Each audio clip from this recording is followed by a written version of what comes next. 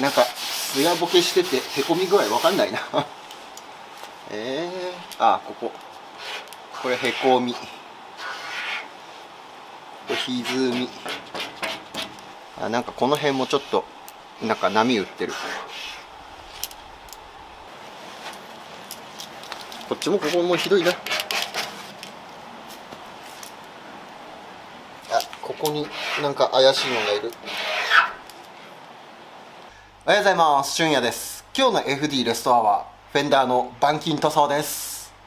フェンダーの状態としては良くもなく悪くもなくそこそこな感じです。大きいへこみとかはね全然ないです。ここの辺が一番でかいへこみかな。ここが一番へこんでる場所。こんな感じ。へこみで言えばこの程度だから全然いいんですけどエアロの取り付けてた穴こういうのが開いてたりとかあと塗装が流れてたりとかあとフェンダーの耳がねなんか中途半端に折られててこの辺がちょっとズタズタな感じになってたりとかこっちのフェンダーも耳がね折れててこう潰れちゃってるんですよね。でその歪みがねここに来ちゃってるんですよね。こうちょっと波打っちゃってるんでこういうところを直してフェンダーをきれいにしていきたいと思います。まずは邪魔になるものを外しちゃいます。ここのフェンダーのダクト。これ外します。固定してるバネ外して。でクリップの爪を起こせば抜けてくるはず。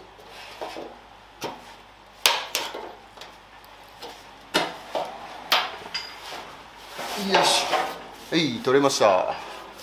こんな感じでバネでこっち側を押さえられててただクリップではまってるだけです。外すのはめっちゃ簡単ですあここのダクトの部分これ一体なんだ？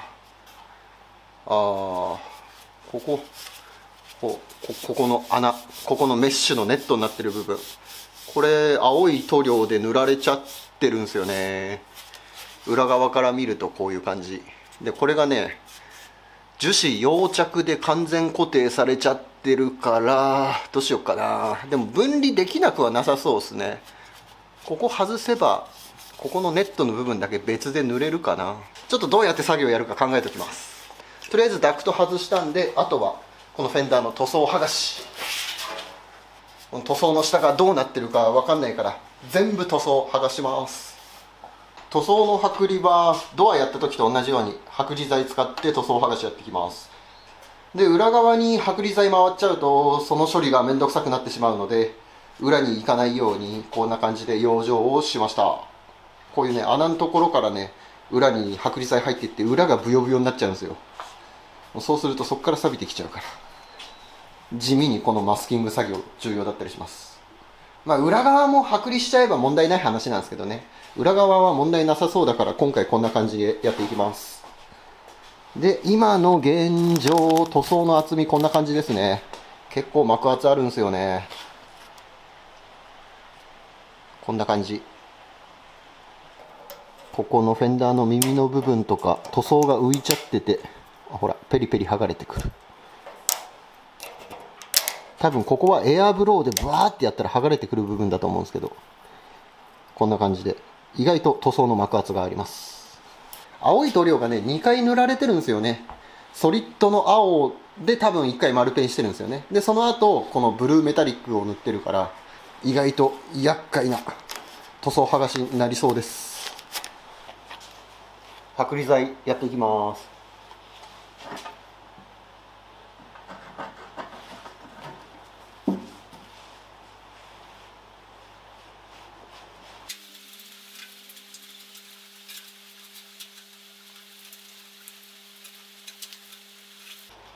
あペーパーで傷つけるの忘れた。まあいっか。もう仕方ない。ここまで来ちゃったら仕方ない。このまま塗っていきます。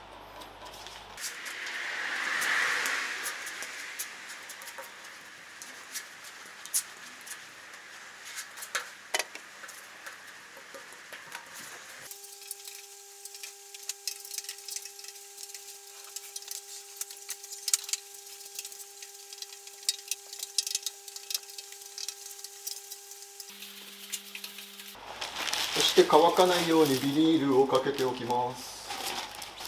これで剥離剤の効果がちゃんと出るようになるから。乾いちゃうとね全然あの剥がれてくれなくなっちゃうんですよ。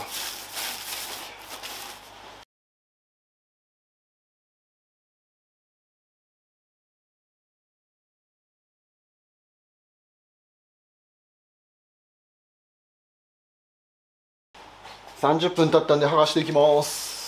さてうまく剥がれてるでしょうか。お悪くないんじゃない？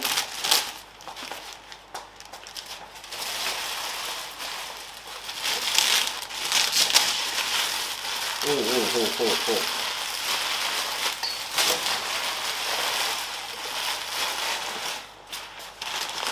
う。どれどれどれ？ういあいい感じに剥がれてるね。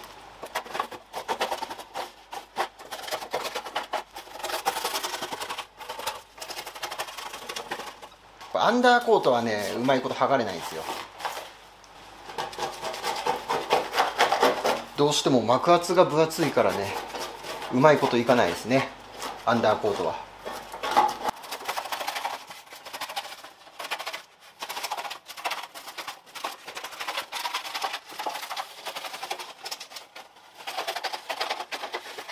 ちょっと残っちゃったね。でも多分これでいけるうん塗装が柔らかくなってるから全然のみで削れます。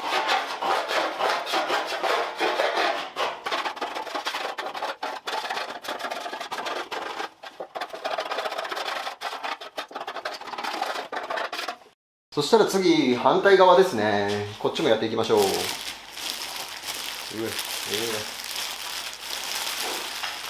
えおこっちはなんかちょっと剥がれ方が違う。ブクブクしてない。なんかパリパリしてるうん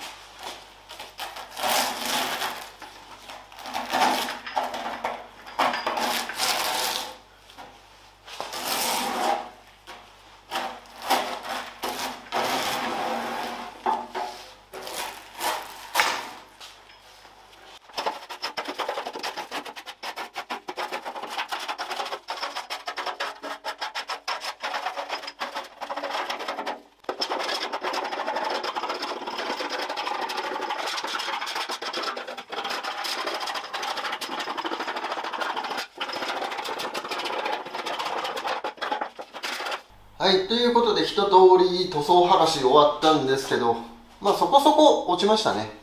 こっちのフェンダーは、えー新品交換されてて、あこの黒い部分、黒いのがね、新品部品についてる電着塗装。黒い電着塗装ですね、きっと。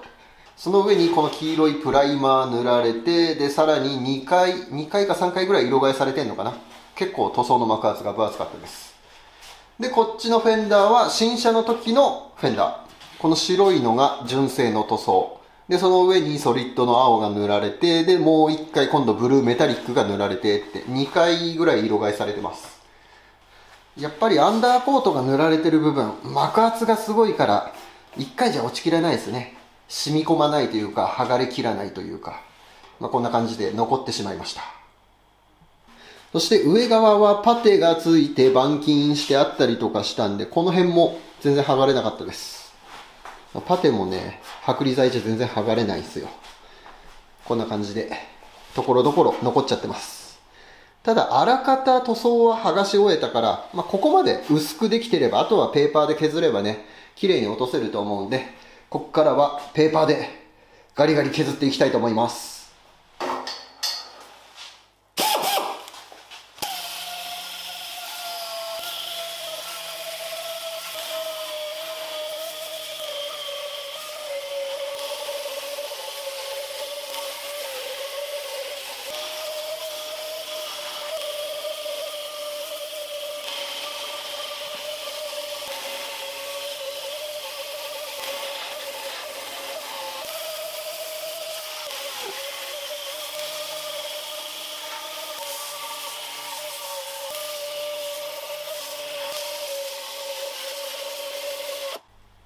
綺麗に剥がし終わりました。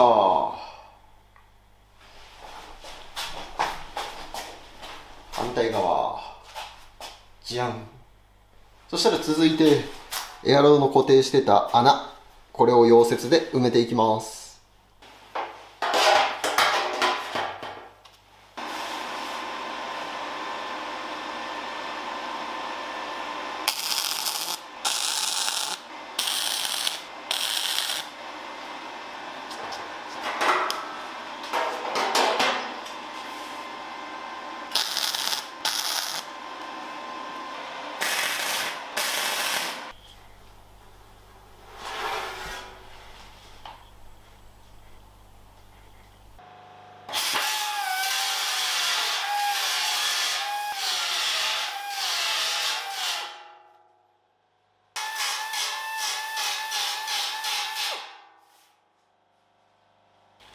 フェンダーのこの角っこの部分ここ塗装ちゃんと落とせてなかったんでこれ使って落としていきます。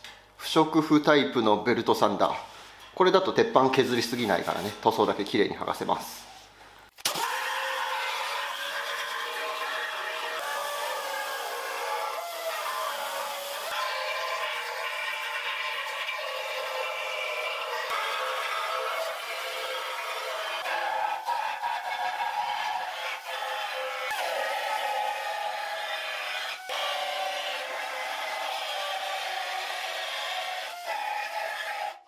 よしやっと下地の準備が整った。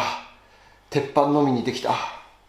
あとは叩いてこの鉄板の形を整えていくだけですね。で分かりやすいようにマジックで印つけてみました。丸いところがへこんでる場所。三角形が出っ張ってる場所ですね。結構ね波打ってる。へこんでる場所とかも結構ある。反対のフェンダーもこんな感じ。もともとここ塗装がほら、艶ひげて、なんかガッサガサな状態だったから、分かりにくかったけど、思ってたよりもひどい状態だったかもしれない。こんなに歪んで、なんかべっこべこな状態なんだったら、バーナーで剥がしても変わんなかったかなっていう感じやね。とりあえず、もう叩いて形整えていくしかないので、えー、ひたすら鉄板叩いてきれいにしていきたいと思います。使っていく道具はこちら。まず鉄板の裏に当てる当て板。ドリーですね。これと普通のハンマー。そしてヤスリハンマー。これヤスリを折り曲げたやつでこれで叩くとね絞りながら叩くことができるやつです。このギザギザの目がね鉄板を伸ばさないようにちょうどいい具合で叩けるやつ。あと普通の絞りハンマー。これも使って鉄板伸ばさないように、えー、少しずつ形を整えていきます。まずは溶接したところから。ちょっと溶接の熱で歪みが入っちゃった。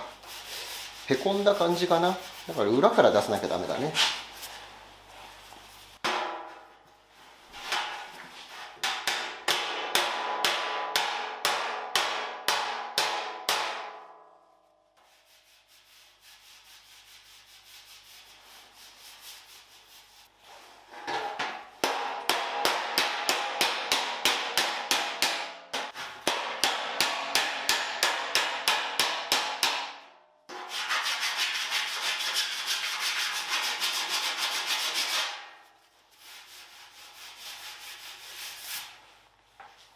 フェンダーの耳ちょっと折れて入りすぎちゃってるんで起こします。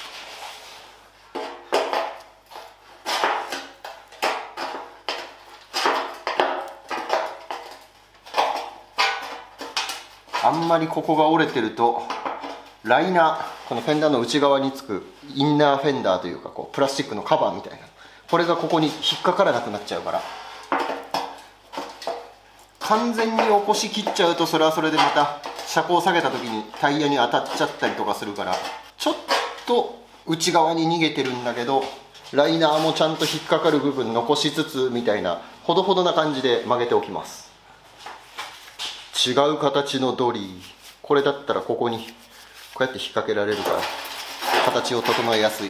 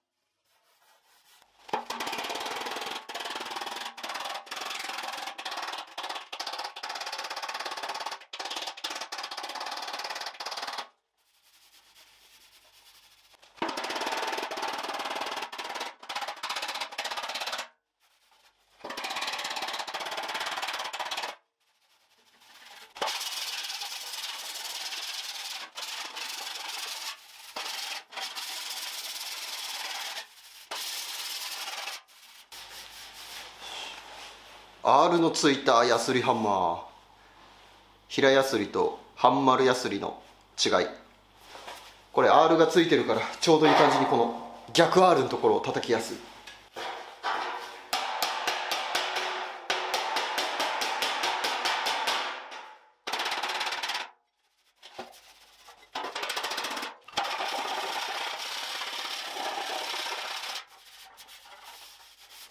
一通り叩き終わってようやくこれでパテつけて大丈夫かなっていうぐらいまでは持っていき終わりました。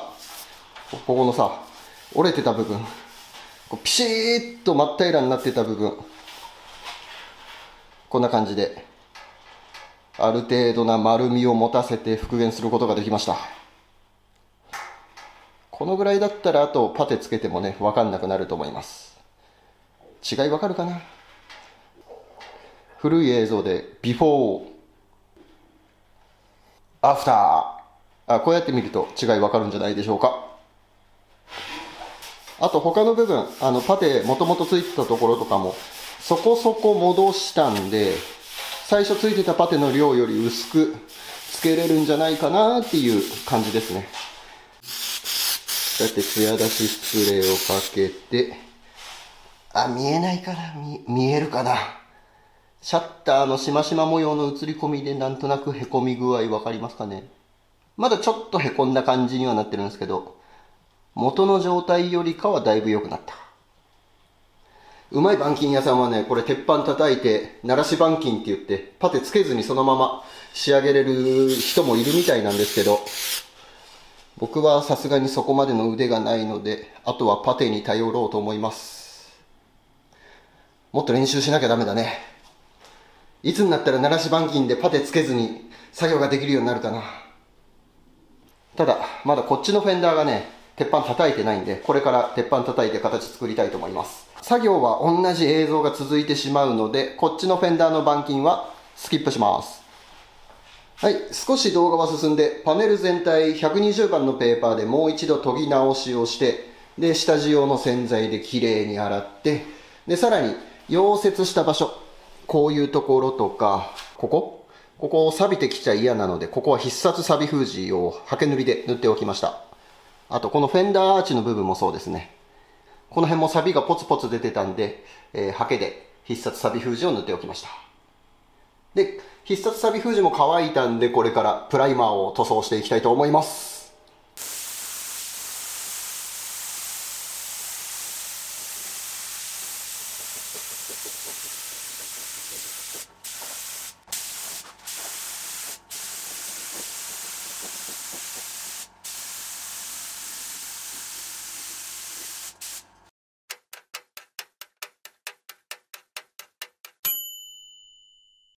はいそれじゃあパテつけていきます。なんか全体的にもう歪んでべっこべこな感じだったからパテも広い面積ダーッとつけちゃいます。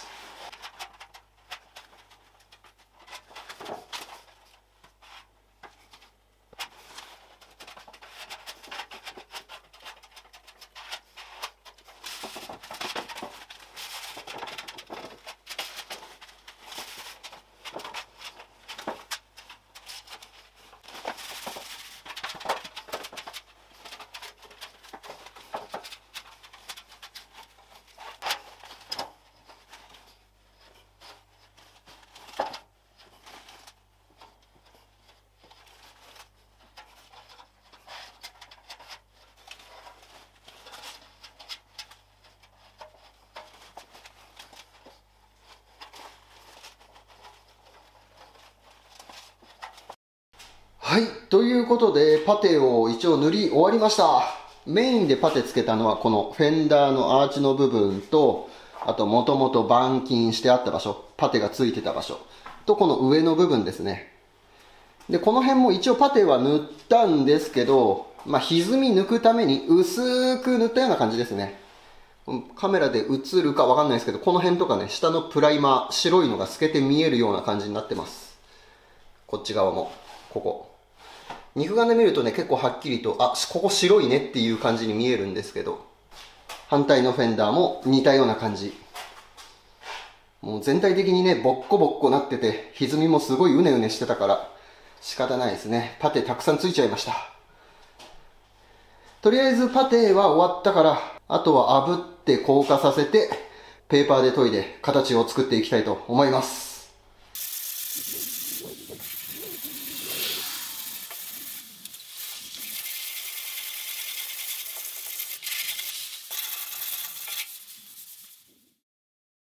続いてこちらエアダクト。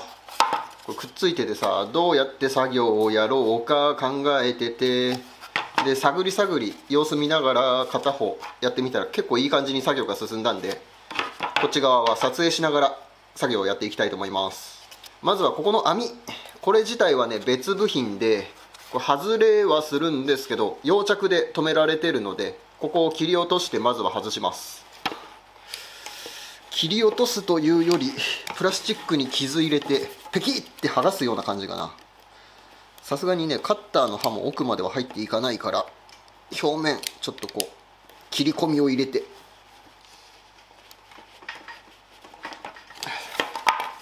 これでピッよいしょお取れた。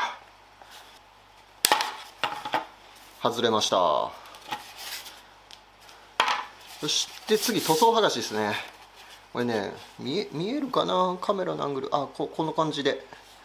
こうちょっとねうねうねうねっと歪みがあるので塗装を剥がしながらも面を出しながら削っていきます。でこれはもうひたすら削るだけですね。これ自体がね ABS なんですよね。プラスチック。だから剥離剤とか使うともうプラスチック自体がねブヨブヨに溶けちゃうんでひたすらペーパーで削っていきます。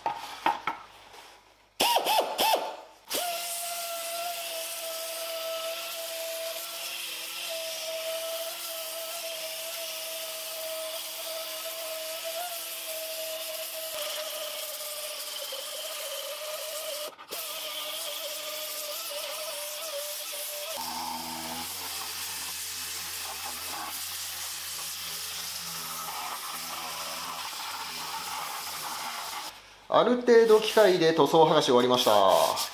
まあこういう平面な部分。機械が当てれるところだけですね。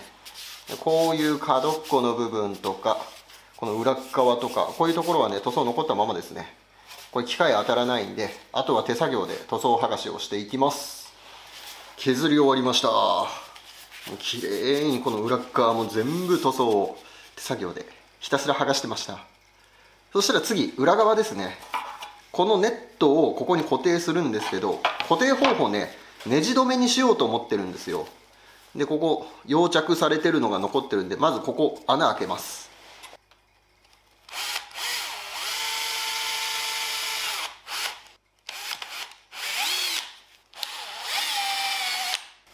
よしこれでネジ止めができると。ただこのままだとさすがにちょっとこの足この状態じゃねネジ止めるにはちょっと心細いかなと思うのでここにねプラリペアを持って土台をね肉増ししようと思ってるんですけど塗装ついちゃってるからこのままだとさすがに密着悪すぎると思うんで一回ブラストで塗装剥がしやってきます。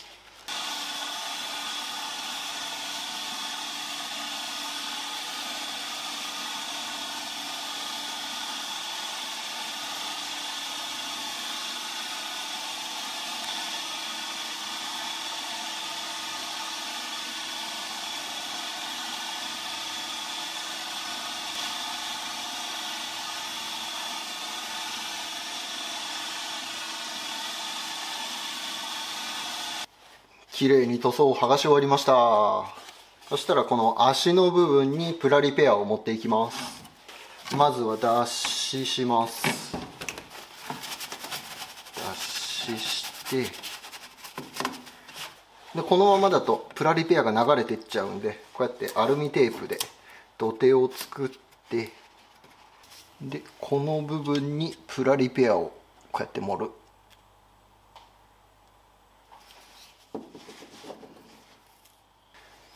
液体を流す。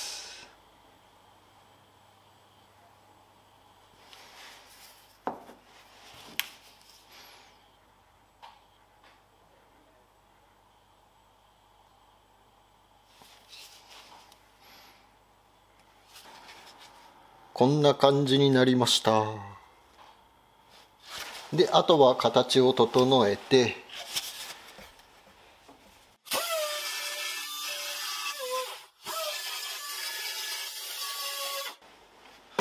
これの中心部分に穴を開けます。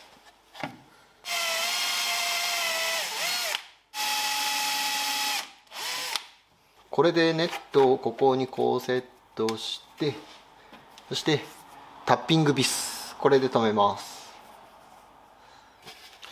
いい感じに固定ができました。これで OK ですね。これでダクトも板金 OK あとはサフェーサー入れれば完成ですね。でフェンダーはサブチャンネルでパテ研ぎをやっておきました。こんな感じになりました。結局1回じゃ形出なくて2回ですね。パテ2回乗せました。でも歪みもちゃんと抜けたし綺麗な面が出たと思います。気になる方はぜひサブチャンネルをご覧ください。あとはサフェーサー入れていくだけなんですけどちょっと巣穴がねプツプツ開いてたりするんでエバーコートで巣穴拾ってからサフェーサー入れていきます。まずはダッシュします。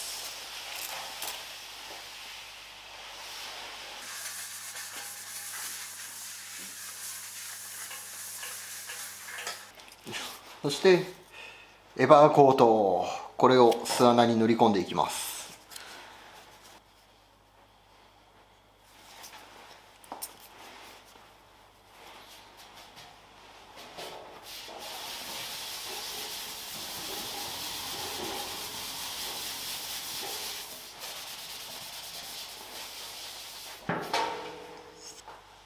はいそれではお待たせいたしました。やっとサフェーサーを塗る時間です。この板金から解放された気持ちを込めて皆さんそれではご一緒に塗装タイム行ってみよう。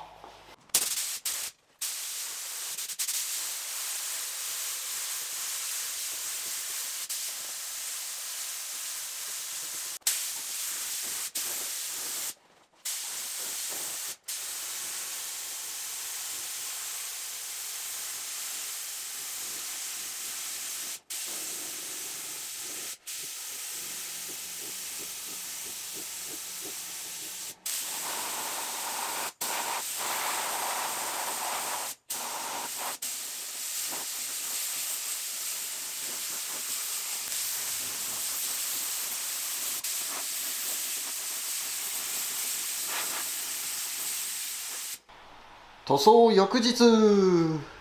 上手に塗れました。じゃん。これがこっち向き。こうだ。よいしょ。いい感じだね